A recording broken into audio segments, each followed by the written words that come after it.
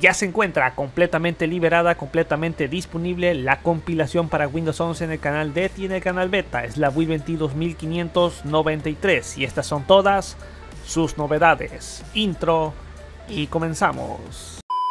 Pero antes de iniciar, este video es traído a ustedes gracias a CDK Offer, licencias totalmente exclusivas, totalmente validadas, totalmente certificadas que las puedes adquirir. Así es que puedes adquirir lo que es una licencia para Windows 10, para Windows 11, para Office 2021, para Office 2019 prácticamente. Te voy a estar dejando el código de descuento abajo ahí en la descripción. Aplicas el código, vemos el precio que es totalmente flexible. Lo añadimos ahí directamente para proceder a los métodos de pago que son totalmente de confianza.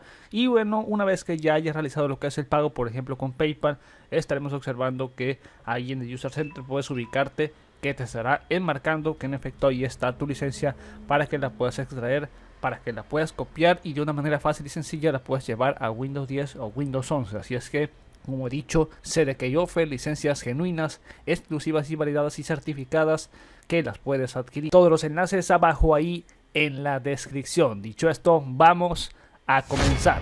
Y nuevamente sean bienvenidos, sí, a un nuevo video destacando que ya está disponible una nueva compilación para Windows 11 en el canal DET y también en el canal Beta porque ahora ya comparten compilación, es la Build 22593 y hay que destacar todas sus novedades. Importante destacar que el día de ayer se llevó a cabo un evento, un evento que realizó Microsoft obviamente en torno al trabajo híbrido con respecto a Windows 11. Así es que te voy a estar dejando un resumen en una tarjetita. Ahí estará el video, si no, los enlaces abajo en descripción, prácticamente de todo lo que abordaron. Importantísimo conocer ese video porque a raíz de eso se despliega lo siguiente que son las novedades de la Wii 22593 tal cual como lo describen en el blog oficial de Windows Insider que va a estar abajo en descripción han recibido muchos comentarios de los del canal de beta sobre la marca de agua de escritorio. Microsoft dice que es normal ver esta marca de agua en su escritorio después de actualizar a las versiones preliminares más recientes.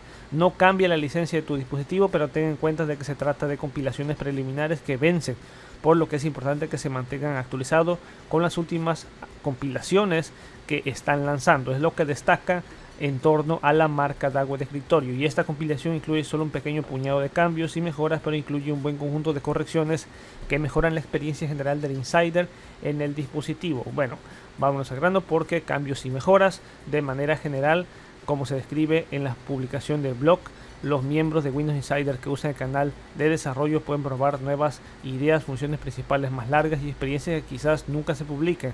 En esta compilación, un grupo limitado de Insider verán la primera de estas funciones experimentales, es lo que han destacado, ya sean funciones que inclusive no llegarán nunca a Windows 11 en la versión estable. Se actualizó luego de Windows más la X para que si se instala Windows Terminal, el menú incluya una entrada para terminal y en los casos de que se desinstale Windows Terminal se muestre Windows PowerShell. Por otra parte, en explorador de archivos, la página de inicio predeterminada del explorador de archivos ahora pasa a llamarse Home o Inicio, que es lo que veíamos el día de ayer tras el evento de Microsoft. Eh, el nombre de acceso rápido se ha reutilizado para la sección de carpetas ancladas frecuentes y los archivos anclados ahora se llaman favoritos para alinearse así con Office y con OneDrive. Por lo tanto, se ha reubicado todo esto. Los archivos recientes y anclados que se muestran en inicio ahora se pueden buscar mediante el cuadro de búsquedas en el explorador de archivos, incluso si no son archivos locales, por lo que pueden encontrarse archivos de Office compartidos recientemente ahí en el sistema. Y también Microsoft Journal ahora está anclado de forma predeterminada en el menú pluma.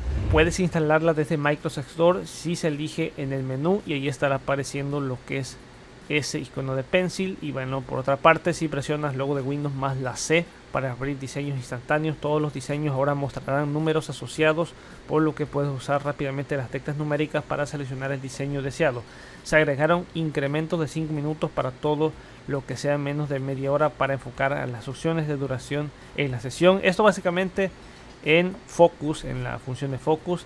Y bueno en seguridad, en el entorno de seguridad, la integridad de la memoria es una característica de Windows 11 diseñada para evitar que los ataques inserten códigos maliciosos en procesos de alta seguridad. Esta función se puede encontrar en seguridad de Windows ahí del dispositivo, aislamiento del núcleo, en las compilaciones más recientes en el canal Insider Preview notificarán al usuario de esta característica que está desactivada actualmente para que puedan tomar medidas para que el usuario la vuelva a activar para que su dispositivo esté lo más seguro posible contra ataques maliciosos. Hay otra clase de aportes, por ejemplo, se actualizó el diseño del teclado ADLAM, también, por ejemplo, se actualizó el diseño del teclado Paston para que ahora se pueda acceder directamente a ciertos caracteres específicos. Se corrigieron algunos problemas que afectaban la confiabilidad de Explorer.exe en compilaciones recientes. Se solucionó un problema por el cual los iconos de la aplicación se animaban inesperadamente desde la parte inferior izquierda al iniciar una nueva aplicación.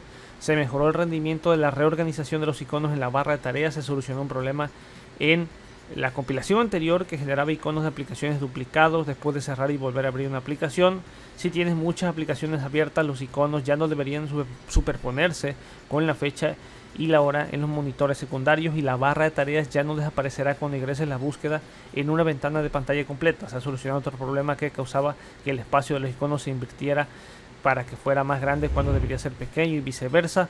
Y bueno, barra de tareas también está optimizada para tablets si tienes varios teclados para tu idioma actual, el indicador de entrada ahora solo mostrará una fila de texto cuando la barra de tareas esté optimizada para tablets que esté ahora contraída. Y bueno se han solucionado y mitigado más problemas que causaban por ejemplo hay problemas en el centro de notificaciones en la disminución de la confiabilidad del lanzamiento del centro de notificaciones los nombres de algunos de los meses de calendario estaban teniendo un error se han corregido también. Menú de inicio se ha corregido problemas también prácticamente si tabulabas para nombrar una carpeta de inicio, ahí había un problema, se ha solucionado, se actualizó el diseño de las carpetas en inicio para que sean un poco más grandes, se solucionó un problema por el cual si creabas una carpeta de inicio en la misma posición de una carpeta eliminada mostraría el nombre anterior, solucionado, el icono de búsqueda de la barra de tareas ya no debería parpadear inesperadamente al cerrar el menú de inicio, en búsqueda se han solucionado problemas, en el explorador también el rendimiento mejorado al cargar el inicio en el explorador de archivos solucionado,